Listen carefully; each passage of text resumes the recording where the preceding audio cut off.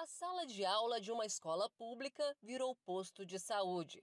O quadro negro ou a janela viraram suporte para quem precisa tomar soro ou medicação na veia. Os atendimentos médicos aumentaram consideravelmente nos últimos dias. Casos de gripe e Covid cresceram nas cidades que se encontram em situação de emergência por causa das fortes chuvas que atingiram as regiões norte e nordeste de Goiás. Com estradas muitas vezes intransitáveis, o socorro fica difícil. A gente está com uma frente ampla de trabalho aqui na região, né? também com resgate de pessoas que continuam é, ilhadas ou isoladas devido às más condições das estradas. Né? Essa semana nós tivemos aí é, o apoio do helicóptero, né? que resgatou algumas pessoas é, enfermas que precisavam de tratamento ou passaram mal né, na região lá e estavam isoladas sem condição de chegar até aqui na cidade ou chegar até atendimento. Foram feitas também é, alguma, alguns transportes de equipe médicas para os locais é, que ainda não estão tendo acesso. Em Cavalcante, onde mais de 3.500 pessoas foram afetadas pelas enchentes, os casos de Covid estavam zerados. Agora já são pelo menos quatro e a gripe também tem pego muita gente. O maior problema é que faltam remédios. As principais dificuldades que nós estamos enfrentando é com a questão de medicamentos, porque o que nós é, tínhamos adquirido é, não, for, não está sendo suficiente, acabou rapidamente. Precisamos de doações, de ajuda mesmo das pessoas.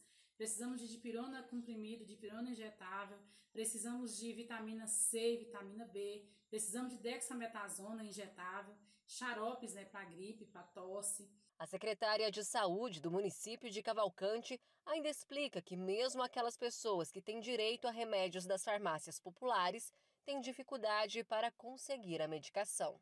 Para o farmacêutico entregar, ele só entrega mediante a pessoa né, ou a procuração. E nós não temos as procurações das pessoas. E como elas não estão conseguindo vir aqui na cidade, tá, nós estamos enfrentando essa dificuldade. Então, precisamos também de doação de medicamentos é, de pressão arterial. Em Flores de Goiás, Estado e Prefeitura se uniram para levar comida, remédio e vacina para comunidades rurais que também sofrem com estragos da chuva. Mesmo no improviso, os profissionais da saúde se desdobram para atender a população. Estamos aqui hoje no PA Gameleira, doutora Isabela aqui atendendo, paciente aqui, enfermeira Eliane, à luz de lanterna, tá gente? técnica Marta aqui, os pacientes aqui aguardando. Para quem esperava por essa atenção, o trabalho dos profissionais da saúde de outras secretarias foi bem-vindo. Consultar, né? E vamos pegar a sexta, né? E daqui a pouco tomava a segunda dose do Covid. Veio numa boa hora, que eu estava lá em casa há muitos dias com uma gripe muito forte e foi tudo resolvido. Graças a Deus, estou medicada, estou feliz.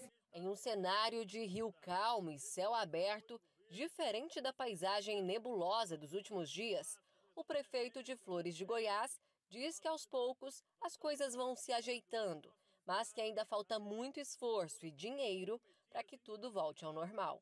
E nós estamos lutando para conseguir recursos do governo federal, apoio do governo estadual, para que a gente possa estar reconstruindo essas estradas, reconstruindo essas pontes esses bueiros, para que a gente possa tornar normal o tráfego no nosso município.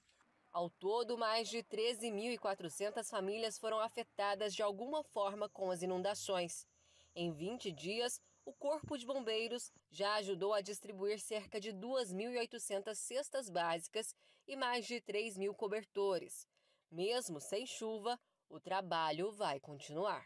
A operação ainda não tem data para acabar, né? É, nós temos dois dias, os últimos dois dias foram de sol e a gente intensificou a distribuição de cestas básicas devido a um pouco da melhora da, na, nas estradas.